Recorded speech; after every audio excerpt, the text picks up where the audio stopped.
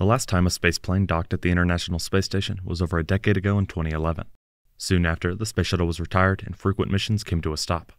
Now, in 2024, we are only months away from the return of spaceplanes within the industry. Just yesterday, it was announced that Dream Chaser Tenacity and its Shooting Star cargo module are stacked and vertical. This is the first time the two have come together, and so far the signs are looking good for the maiden flight. In this mission, they will launch on ULA's Vulcan rocket and attempt to dock to the International Space Station before returning to Earth for a runway landing. Here, I'll go more in depth into the recent milestone, final launch prep, the significance of this mission, and more.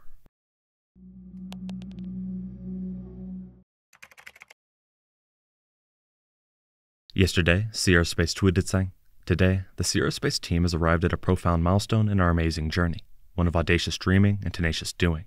We are now living in the orbital age. This included an image of Tenacity and Shooting Star stacked and in launch configuration for the first time. You can see the spaceplane's wings are folded in, which allows it to fit within the rocket's fairings. Similarly, Shooting Star has large solar panels that are also folded in for launch and will extend on orbit. For the last month and a half, the spaceplane has been at NASA's Glenn Research Center to complete pre launch testing. At this point, the vehicle is complete, and they're making sure it can survive both the launch and space environment. The reason Tenacity is stacked and vertical is for vibration testing. Here, they simulate the vibrations the vehicle will be exposed to as Vulcan lifts off. This is why it's in launch configuration, as they need to make the process as accurate as possible. The only difference between some of the images they provided and the actual launch is there will be fairings covering the vehicle. Inside the NASA Glenn Research Center is the world's most powerful spacecraft shaker system. In a quote, the agency said, We expose Dream Chaser and Shooting Star to the vibrations they'll experience during launch and reentry to the Earth's atmosphere. With the vehicle now vertical, we can expect this testing to take place and likely be completed within the next week or so. Once done, assuming the results are promising, there are a few more tests that need to be completed. In a statement, they said, following vibration testing, Dream Chaser will be moved to the propulsion facility for thermal vacuum testing. Dream Chaser will be placed in a vacuum and exposed to low ambient pressures, low background temperatures, and replicated dynamic solar heating, which simulates the environment the spacecraft will encounter during its mission. This facility is the only one capable of testing full scale upper stage rockets and rocket engines under simulated space conditions and conducting altitude hot fire. They finished by saying, after completion of testing at Armstrong, Dream Chaser will be shipped to NASA's Kennedy Space Center in Florida for further launch preparations, currently scheduled for liftoff in the first half of 2024. In other words, we can expect Tenacity to complete all of this testing within the next month or so. It will then head to Florida, where it will integrate on top of the Vulcan launch vehicle. While we haven't heard much from ULA since the first successful flight, a few comments suggest they are nearly ready. For example, in a statement early last month, they said, The second certification mission, CERT 2, is planned to launch in the coming months. In addition, the vice president of United Launch Alliance said that the earliest opportunity to launch Tenacity would be around April. The suggested April or May, accounting for a few delays, is a realistic launch timeframe for this vehicle. In reality, Dream Chaser has been under development for decades. Over this long period of time, they've worked on the design, initial testing, general work, etc. This makes the maiden flight an even bigger deal with the amount of time that's gone into it. Since this is a reusable vehicle, the plan is for it to survive its mission and allow teams at Sierra Space to refurbish it and prepare it for another launch.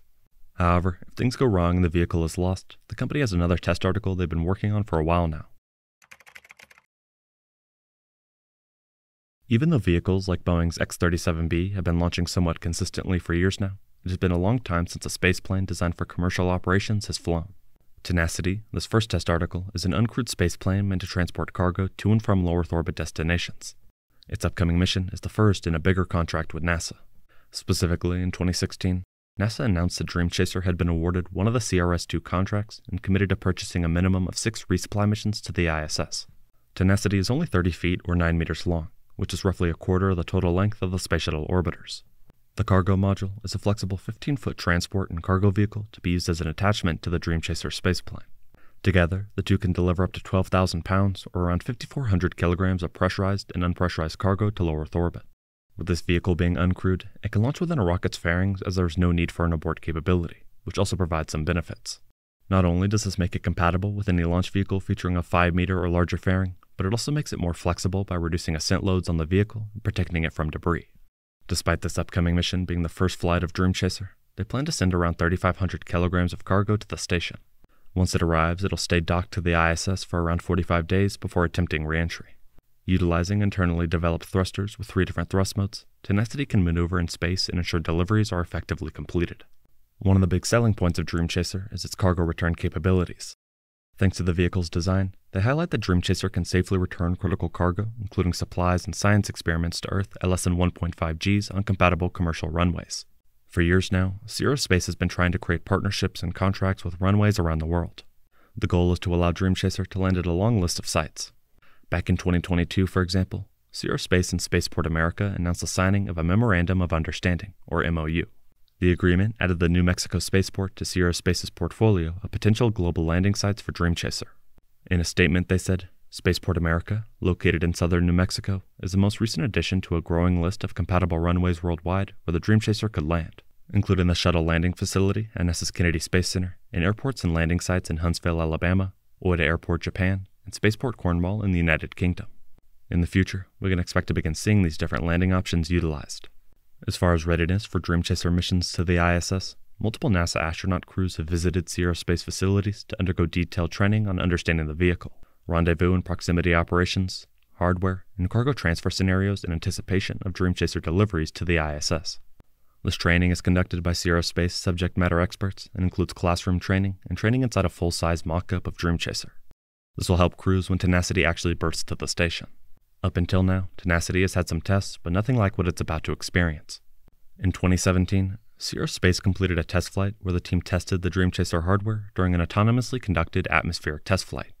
On descent over the California desert, the test vehicle autonomously deployed its landing gear, touching down on the runway at NASA's Armstrong Flight Research Center in Edwards, California, demonstrating the spaceplane's unique lifting body design.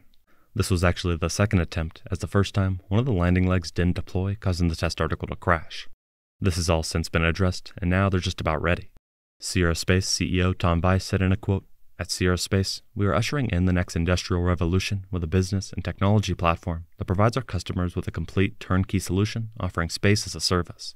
Our platform includes Dream Chaser, a revolutionary, highly reusable commercial spaceplane with global runway access, and the first business ready commercial space station leveraging the most advanced expandable structural architecture that will exponentially decrease the cost of product development and the manufacturing in space, he said.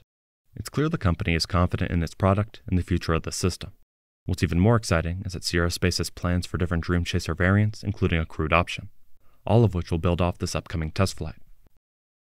Dream Chaser Tenacity for the first time is vertical and in launch configuration. This is for the final testing both of vibrations and eventually propulsion. We will have to wait and see how it progresses and the impact it has on the space industry. Thank you very much for watching.